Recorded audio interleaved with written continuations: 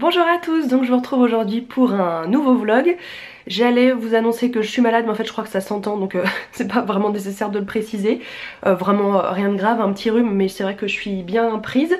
ce qui m'arrange pas trop niveau timing parce que ce matin j'enregistre un épisode de podcast mais bon objectivement c'est pas moi qu'on écoute parler donc c'est pas extrêmement grave. C'est vrai que j'aurais préféré être en pleine forme pour pouvoir avoir une voix plus claire mais bon peu importe ce sont les aléas de de la saison automne-hiver. C'est euh, Inès qui nous a ramené ce petit, euh, virus de l'école. Et euh, on l'a tous attrapé à la maison. Mais voilà, ça se, ça se résume juste en un nez un peu pris et puis un peu patraque, mais vraiment rien de grave. J'espère que vous allez bien en cette période toujours un peu, toujours un petit peu compliquée. je vais essayer de vous proposer pas mal de vlogs là, ces dernières semaines de 2020 parce que je sais que ce sont des vidéos que vous aimez beaucoup, puis moi j'aime bien les filmer aussi donc c'est chouette. Donc le programme de la journée, euh, comme je vous disais ce matin, euh, j'enregistre un épisode de podcast. Je vous remets sur l'écran euh, toute l'explication de la vidéo où je vous explique tout sur ce nouveau projet que j'ai entamé il y a quelques mois. Ça me plaît toujours autant, je m'éclate toujours autant, c'est très très très épanouissant pour moi et vos retours sont fabuleux donc vous n'imaginez pas à quel point ça me fait plaisir. Là j'en suis encore à l'étape petit déjeuner et dans, euh, dans un quart d'heure je commence à enregistrer, voilà, de bon matin. Comme je vous l'avais dit dans cette vidéo, j'ai commencé par euh, proposer des portraits d'infirmiers parce que ça me rassurait de commencer par un métier que je connaissais et puis là petit à petit je suis en train de proposer d'autres métiers donc on a eu euh, une kiné, il y a eu l'épisode avec Noémie, vous connaissez peut-être, qui est une youtubeuse qui est également sage-femme. Donc ça c'était l'épisode de, enfin le dernier épisode. Et à l'heure où vous verrez cette vidéo le prochain sortira donc mardi et euh, ça sera un épisode sur euh, une expérience pas simple donc le burn-out des soignants tout simplement. Euh, c'est un épisode que j'ai pris beaucoup de plaisir à enregistrer avec une jeune femme qui s'est livrée avec beaucoup de sincérité. Et c'était une période pas facile de sa vie voilà sur laquelle elle s'est confiée très très justement. Le but de cet épisode c'est de mettre des mots sur le mal-être des soignants parce que ce que cette jeune femme a vécu euh, bah, malheureusement c'est vécu par beaucoup beaucoup d'autres personnes et j'espère que ça vous plaira mais c'est vrai que c'était un sujet pas simple à aborder. Et puis ensuite je vais enchaîner avec euh, un épisode avec euh, une médecin, éducateur spécialisé, enfin voilà, je vais commencer à balayer plein plein d'autres professions et toujours des infirmiers parce que voilà, c'est le, métier que j'exerce donc euh, forcément ça m'intéresse euh, ça m'intéresse beaucoup aussi. Bon allez, j'arrête de discuter et puis euh, j'installe tout mon matériel d'enregistrement.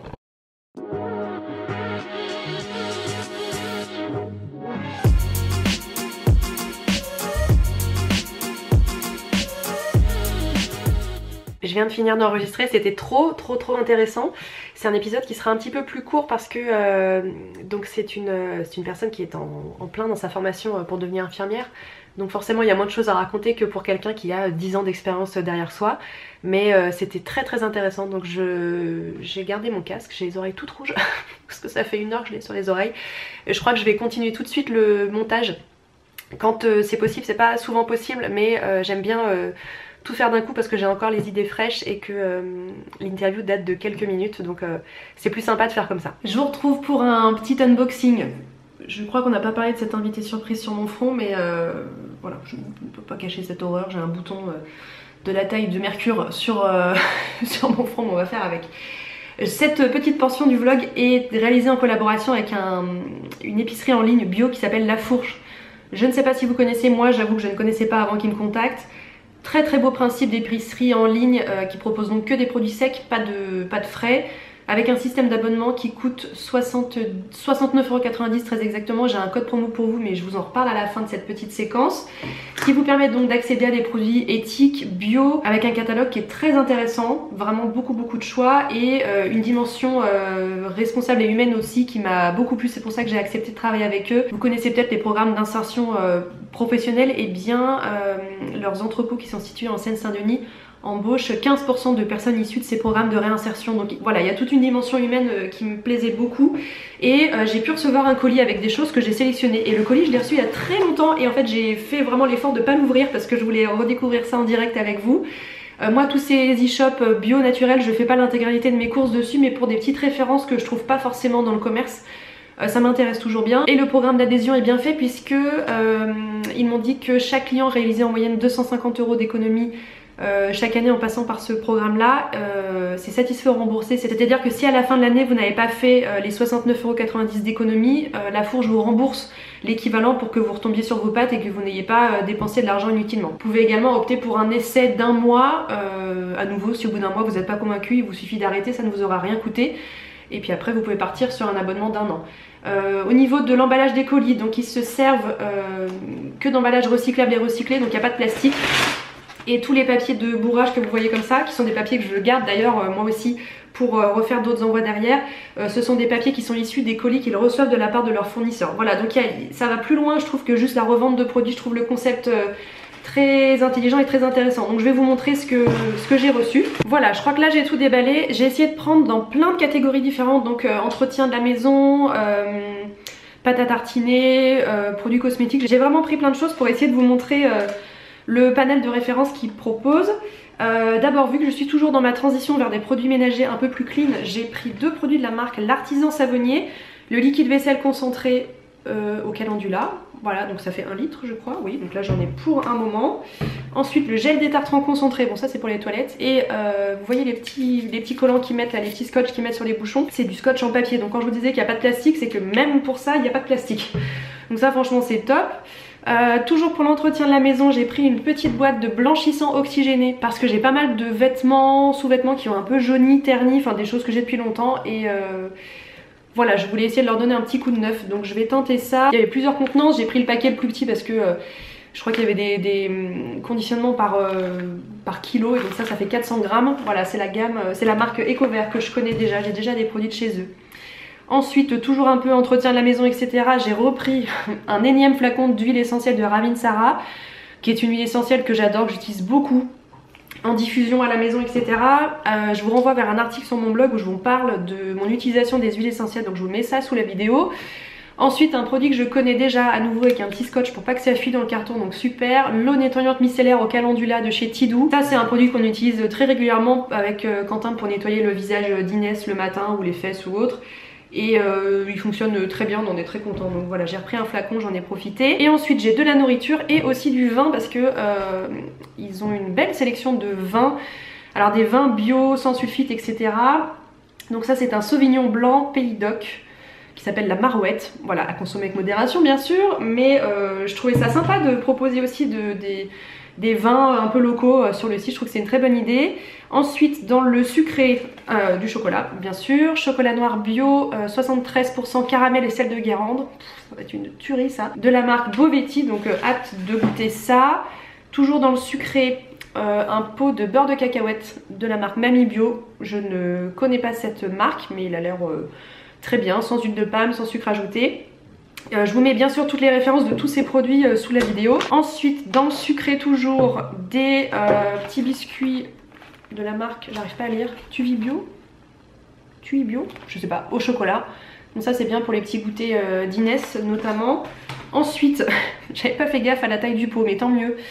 Un pot de nocciolata, donc c'est un peu l'équivalent du Nutella mais en version, bah, en version bonne pour la planète et bonne pour la santé, enfin meilleure pour la santé. Pâte à tartiner cacao noisette, hein, ça reste quelque chose de très gras, très sucré, donc euh, ça aussi avec modération. Sans huile de palme, donc un pot de 700 grammes. Voilà, on va pouvoir en faire des crêpes avec tout ça. Et ensuite du salé.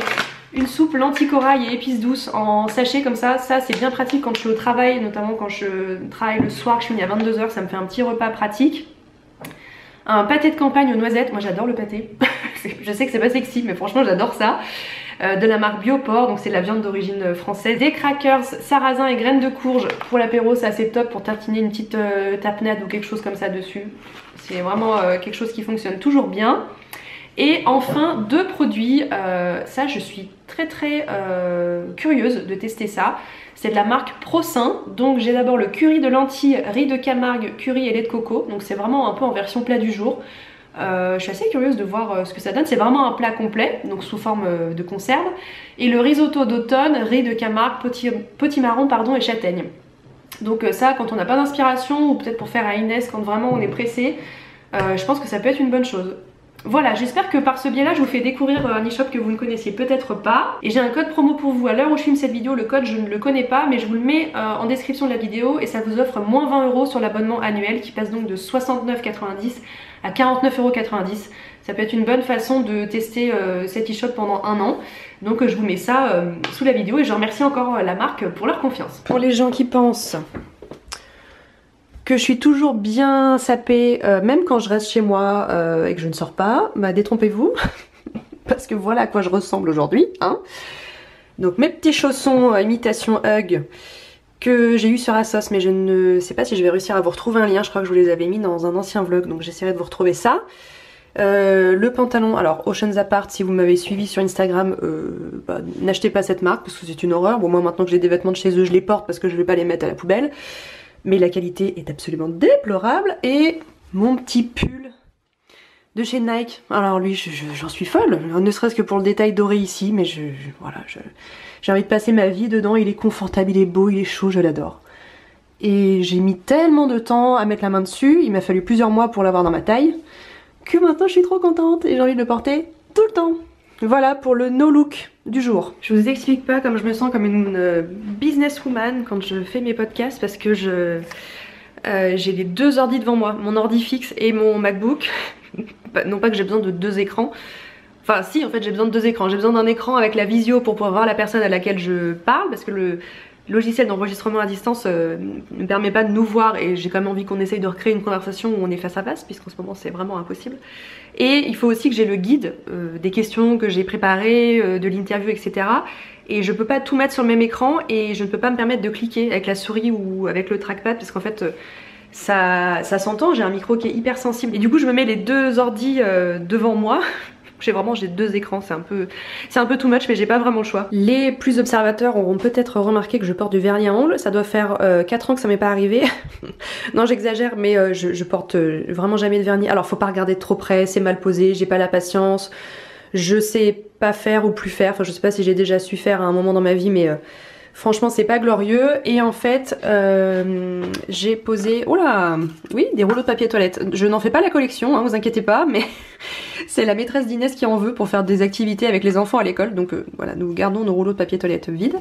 J'ai reçu cette petite beauté de chez Cure Bazar, qui est un rose nacré avec des petites paillettes un peu violettes dedans. C'est, euh, oui j'ai les mains dans un état pas croyable en plus, donc c'est vraiment pas vendeur. C'est la teinte Rose Pearl, ça fait partie de la collection hiver de Cure Bazar. Et ouvrez l'œil parce que j'ai un concours qui arrive euh, avec la marque. Ils m'ont proposé de vous faire gagner euh, un lot de 3 vernis dont celui-ci. Donc ça arrive, euh, ça arrive bientôt sur Instagram. Et ça c'est un petit colis au My Cream que j'ai reçu. Mais regardez-moi la beauté de la chose. Vous avez un bandeau, un pinceau pour appliquer le masque SOS qui vient de sortir. Avoine, probiotique et acide hyaluronique. Voilà, au My Cream, chaque année, leur coffret de Noël, c'est toujours plus beau que l'année précédente. Et cette année ne déroge pas à la règle. Je suis euh, vraiment trop contente qu'il m'ait fait parvenir ça. Et je vous fais un petit point d'écho sur ce mur coucou terracotta euh, que j'adore. Donc les deux petites étagères sont là depuis quasiment le début avec mon, ventilateur euh, Calor Vintage qui fonctionne toujours hein, mais je, je veux pas l'abîmer, je veux pas m'en servir. Puis bon il ventile pas hyper bien parce que le truc doit avoir 50 ans mais vraiment je l'aime beaucoup. Et j'ai ajouté petite, ce petit miroir soleil que j'ai eu chez Cyrillus. Je sais pas si vous saviez mais Cyrillus a une très très jolie gamme de de linge de lit, décoration d'intérieur, etc. Ils ont de très belles choses. Voilà, il m'a coûté trois fois, trois fois rien, je crois que je l'ai acheté en solde, il m'a coûté genre 3 euros. Et cette petite merveille, alors là je vais vous donner envie alors que je ne crois qu'elle n'est plus disponible, c'est euh, une illustration de Florence Atelier Mouette dont je vous ai déjà parlé, euh, qui a fait cette magnifique illustration bleu nuit avec donc des oiseaux dorés dessus et euh, bon j'ai mis ça dans un cadre un peu cheap alors il faudrait peut-être que je trouve un cadre un peu plus joli mais euh, c'est la, la, petite dernière euh, nouveauté euh, dans mon bureau et comme ça ce mur est enfin complet. On est sur le plan le moins flatteur de l'univers mais peu importe. Quentin est en train de rentrer du travail et je m'attaque à la préparation du repas. Je suis en train de lui faire une salade d'endives. Je déteste les endives. Enfin, cuite genre dans un gratin, tout ça, pourquoi pas. Mais alors en salade, pour moi c'est complètement immangeable. Donc je ne sais pas ce que je veux faire à manger, mais en tout cas, pas des olives, c'est certain. Je crois que je vais lui mettre des petits dés de, de comté. Deux endives c'est trop bah, Je suis partie pour en mettre deux hein, et j'espère que ça lui ira. Des petits dés de comté. Euh, bon, ils sont pas immenses. Hein. Avec des noix. Je crois qu'elle aime bien aussi avec des petits morceaux de pommes et puis une vinaigrette un peu euh, sucrée salée. Je vais lui préparer ça et puis ben moi je... Je sais pas, je vais chercher euh, Je vais chercher l'inspiration ailleurs parce que c'est vraiment pas possible que je mange quelque chose comme ça. Les endives crues et moi, on est vraiment, vraiment pas copines. Ça donnerait presque envie comme ça, hein. Mais non, c'est hors de question, je ne supporte pas ça. Bon, je suis pas complètement folle, hein. je me suis gardé un morceau de comté pour moi. Franchement, ça paraît appétissant, mais non, non, les endives crues, c'est pas possible. Voilà, le repas est fini. Je crois que va pas tarder à retourner au travail.